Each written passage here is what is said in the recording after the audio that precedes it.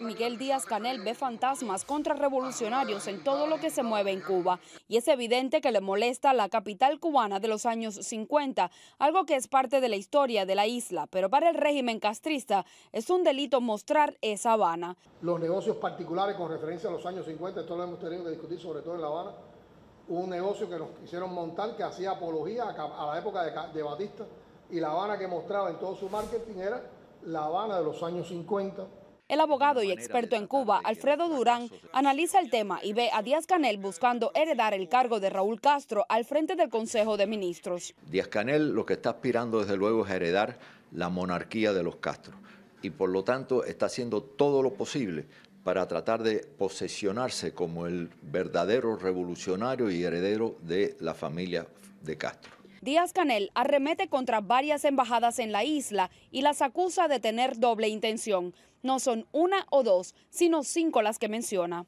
Nosotros tenemos, por ejemplo, aquí embajadas caracterizadas que tienen una amplia actividad de subversión.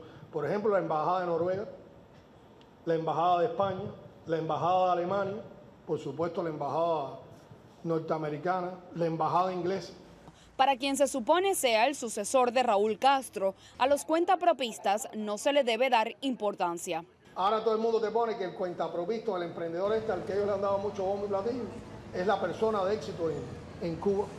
Lo peor es que a veces nuestros medios se van con esta bola Durán, por su parte, manifiesta que es evidente que el sector no estatal en Cuba no es importante para el régimen. Es que para ellos de verdad no son nada, porque ellos saben que en cualquier momento que ellos quieran los pueden reprimir.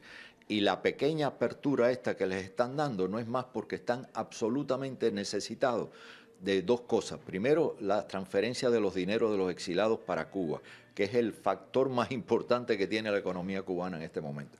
Y segundo, que los cuentapropistas puedan eh, manifestar y buscar suficiente economía para poderle dar un respiro y un escape al pueblo cubano que económicamente está sufriendo como nunca en su historia ha podido sufrir. Canel acusa a Estados Unidos, según dice, de tener una intención de reconquista de Cuba. En medio de un proceso de restablecimiento de relaciones, en la retórica del gobierno norteamericano, de sus principales voceros, estoy hablando antes de Trump, se seguía observando todo un grupo de ideas colonizadoras.